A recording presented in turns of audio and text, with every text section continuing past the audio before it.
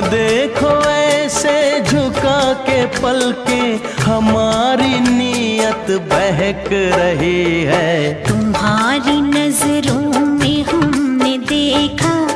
अजब सी